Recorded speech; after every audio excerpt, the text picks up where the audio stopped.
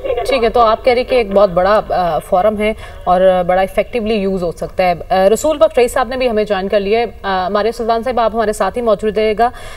Doctor Hasan Oscar साहब भी मौजूद हैं। रसूल बख्श रईस साहब, मैं आपसे जानना चाहती हूँ इस कॉन्फ्रेंस के हवाले से, वस्ती एशियाई ममालिक के लिए ये कितना बड़ा और अहम प्लेटफॉर्म है? मेरा ख्याल ये है कि उन मसाइल के तनाजुर में जो हमें दरपेश हैं उनको देखें कि दहशत गर्दी है और हमारे यहाँ दहशत गर्दी की फ़ज़ा को कुछ हमसाया ममालिक ने हवा दी हुई है असला फ्राहम करते हैं, पनाह देते हैं और उनकी ट्रेनिंग भी करते हैं। तो ये जो इसकी जो रूह है इस तंज़ीम की, उसके वो ख़िलाफ़ है कि ये बुनियादी तौर पर यह तंज़ीम बनाई इसलिए गई थी कि मरकज़ी एशिया के ममालिक रूस और चीन जो शुरू में पाँच थे फिर उज़्बेकिस्तान भी मिल गए और छः हो गए और फिर इसका नाम भी तब्दील हो गया। तो सब में एक इंतहा पसंदी की लहर थी और लहदगी पसंदी की तारीखें थीं।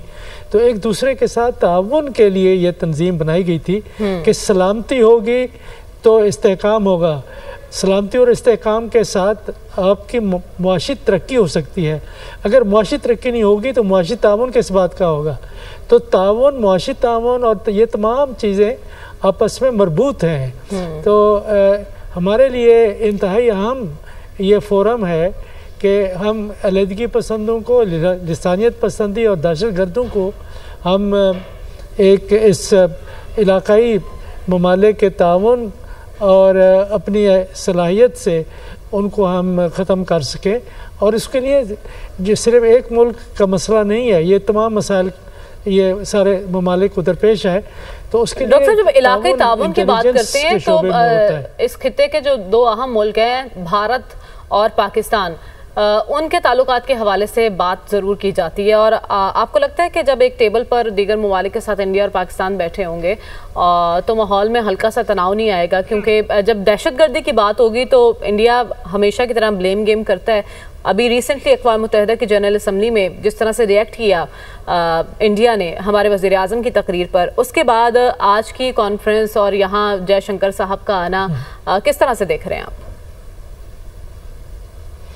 देखिए बहुत अच्छी बात है कि उन्होंने बैकआउट नहीं किया माजी की तरह। हम्म। कम अज़ कम वज़ीर ख़ारजा तो उनके आए हैं। ख्वाहिश तो हमारी यही थी कि मोदी साहब तशरीफ़ लाते। हम्म। और उससे हालात ज़रा बेहतर करने में भी मदद मिलती। तो ये एक शुरुआत है अच्छी एक इब्तदा है लेकिन अब देखते हैं कि वो क्या किस किस्म की शंकर साहब एक ब्रीफ अपने साथ लेके आए हैं और किस किस्म का रवैया वो अख्तियार करते हैं कॉन्फ्रेंस में। एक तो उनके रवैये से उनकी तकरीर से पता चल जाएगा कि हिंदुस्तान की हुकूमत के अब जो तीसरी टर्म में जा रही है बीजेपी की हुकूमत उसके पाकिस्तान की तरफ़ रुझाना क्या है? नुक़ नज़र कोई तब्दील हुआ है या वही है? अगर वही है तो फिर हम देखेंगे वो दहशत गर्दी की बात करते हैं ब्लेम गेम हम्म। पाकिस्तान के ऊपर करते हैं और एक दुरुस्त रवैया अख्तियार करते हैं। और अगर वो ऐसा करें भी सही तो हमें उसके लिए तैयार रहना चाहिए। ठीक और हमें थोड़ा सा रवादारी और एक जो मेज़बानी के हमारे जो हम्म। एक रिवायत है पाकिस्तान की उसको मलूज खाते रखते हुए exactly. कि हमें तुर्की मैं, मैं जानना चाह रही हूँ। सुल्तान साहबा अगर वहाँ से कोई भी नेगेटिव बात की जाती है इंडिया की जानब से तो बतौर मेज़बान हमारा स्टांस और हमारा रिएक्शन क्या होना चाहिए? देखिए मेजबानी अपनी जगह पे लेकिन असूल और मौकफ अपनी जगह के ऊपर और वैसे हम्म। भी आ, हिंदुस्तान ये कोशिश नहीं करेगा क्योंकि इस वक्त जो बैलेंस है एस के अंदर वो पाकिस्तान की तरफ़ ज़्यादा है जिसमें। पाकिस्तान है, रूस है, चीन है सेंट्रल एशियन ममालिक हैं और जो फोकस है वो भी मुख्तलिफ़ है, जिसमें क्लाइमेट चेंज है इकतदी तरक्की है, सारा कुछ है देखिए इंडिया का इस फोरम के अंदर एस सी ओ के अंदर अपनी शमूलियत को बरकरार रखना और तमाम तर बयानिया के जो वो पाकिस्तान मुखालिफ दिखाते रहे हैं पाकिस्तान में आना इस बात की वाज इस बात की वाज वाज सबूत है कि वो ये समझते हैं कि ये एक इकतसादी ब्लॉक बनने जा रहा है और इस इकतसादी ब्लॉक से वो बिल्कुल जो है उसकी अहमियत से नाराफ नहीं कर रहे जबकि अच्छा। इसके बरअक्स वो अमेरिका के बेहतरीन स्ट्रेटिजिक इकतसादी पार्टनर बन चुके हैं हम्म। उन्नीस सौ निन्यानवे से लेकर अभी तक तकरीबन साठ से ज़्यादा साठ से ज़्यादा माहदे वो कर चुके हैं एस टी ए वन कम कासा मतलब बीमा जो भी आप देख लें वो सारे के सारे क्या माहदे हैं? वो माहदे इसी बात के ऊपर है कि अमेरिकन टेक्नोलॉजी की बुनियाद के ऊपर हिंदुस्तान की लेबर इस्तेमाल की जाएगी और हिंदुस्तान का जो डेवलपिंग मुल्क का तरक्की पजीर मुल्क का जो स्टेटस है उसको इस्तेमाल किया जाए क्योंकि वो चीन के मद्दे मुकाबल खड़े हो सकें। अब ऐसी सूरत में है जहाँ दूसरी तरफ़ चीन और रूस इसकी सरबराही कर रहे हैं पाकिस्तान हम्म। उसके अंदर एक स्ट्रेटेजिक पोजिशन में है। तो ज़ाहिर है हिंदुस्तान बावजूद इसके कि वो नहीं चाहता कि एक तरफ़ वो उनके मुखालिफ खड़ा है वो फिर भी इस इकतदी फ्रेमवर्क का हिस्सा बनना चाहता है। क्यों? क्योंकि एक्सेस है सेंट्रल एशिया के लिए वस्त एशिया के लिए थे जो जो ऑब्जर्वर मुल्क है उसमें कौन है? सऊदी अरेबिया है तुर्की है लैटिन अमेरिका के ममालिक हैं यू है। यानी कि जो इकोनॉमिक ब्लॉक्स थे पहले वाले वो सारे के हम्म। सारे इस वक्त इस इकोनॉमिक ब्लॉक की तरफ़ मुतवजो भी हैं और बावजूद इसके कि अभी तक उनको शमूलियत हासिल नहीं हुई वो इसके हम्म। ख्वाहिशमंद हैं कि उनको शमूलियत दी जाए। लेकिन दस मुल्क इसको सेंट्रल पोजीशन के अंदर हैं। बाकी हम्म। तमाम मुल्क जो है उसकी ऑब्जर्वर स्टेटस में और ऑब्जर्वर स्टेटस के अंदर भी वो अभी भी इस कोशिश में है कि किसी तरह उनको फुल मेंबरशिप मिल जाए।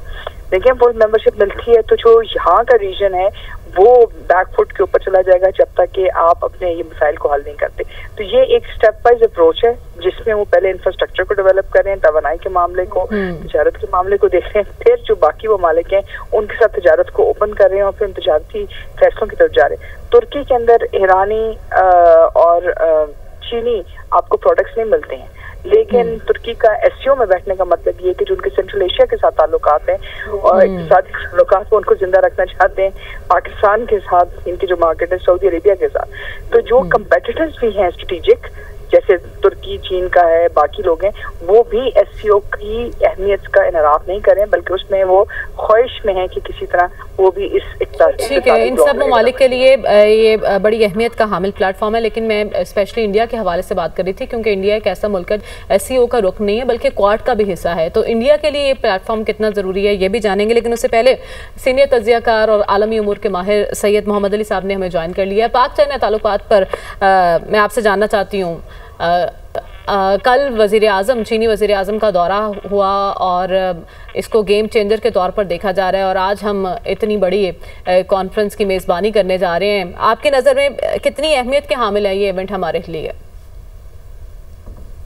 शुक्रिया आपने मदू किया। आ, मैं समझता हूँ कि तीन एतबार से ये बहुत गैर मामूली अहमियत का हामिल इवेंट है। पहली बात यह है कि दुनिया की जो तमाम बड़े आलमी इदारे हैं जो कि दूसरी जंग अजीम के बाद मार्ज वजूद में आए आपको नज़र आता है कि मगरबी ताकतों की का असर रसूख उनके ऊपर बहुत ज़्यादा है चाहे वो अकवा मुतहदा हो चाहे हम्म। यूरोपीय यूनियन हो और इसी तरह जी सेवन और जी ट्वेंटी भी तो इस मौके मौके पे जो एससीओ है इसका फैलना इसका उभरना ये साबित करता है कि दुनिया जो है अब डिफरेंट पावर सेंटर्स को कंसिडर कर रही है और ग्रेजुअली एक मल्टीपोलर दुनिया इमर्ज कर रही है। और जिस तरह अभी रकुमारिया भी कह रही थी कि दुनिया के वो ममालिक जो कि मगरबी ताकतों के इतिहादी और हलीफ हैं वो भी हम्म। इन मौाक़े को ज़ाया नहीं करना चाहते और इसमें शिरकत करना अपने मफाद में समझते हैं। पहली बात तो ये है। दूसरी बात यह है कि इस वक्त एक बहुत इम्पोर्टेंट बात यह है कि एक सोच उभर रही है जो कि एससीओ का फोरम उसकी बहुत अच्छे तरह से तर्जुमानी करता है। और वो ये है कि एशियाई ममालिक ये समझते हैं कि एशियाई मसाइल, चाहे वो तजारत के हों, सलामती के हों सेपरेटिज्म के हों टेररिज्म के हों, उनका हल एशियाई ममालिक को मिल के तलाश करना चाहिए। और बददरीज मगरबी ताकतों की दखल अंदाजी मुदाखलत और उन पर जो इहिसार है, उसमें कमी लानी चाहिए। ये एससीओ का फोरम इसकी भी एक तर्जुमानी करता है, सोच और ख्वाहिश की। और तीसरी बात यह कि इस वक्त आप जानते हैं कि मशरक गुस्ता और दीगर ममालिक में और साउथ चाइना सी में कशीदगी जारी है। तो बात यह है कि एक, इस टाइमिंग पे पाकिस्तान में इसका मुनद होना, इस बात का एतराफ़ है, सबूत है कि पाकिस्तान को ये तमाम दुनिया के अहम ममालिक जो हैं, वो बड़ी अहमियत देते हैं। और लेकिन इस मौके पर आ, मैं ये जानना चाहती हूँ कि जो मगरबी ममालिक के इतिहाद की बात की उनके मुकाबले में ये मशरकी ममालिक का इतिहाद यूनिटी के एतबार से कितना मज़बूत है? आपको इसका इतिहाद कितना मज़बूत दिखाई दे रहा है? देखिए मैं समझता हूँ कि अभी ये कहना कबल वक्त होगा कि हम इसको एक मशरकी ताकतों का इतिहाद गर्दाने। और उसकी दो हम्म। वजूहत हैं।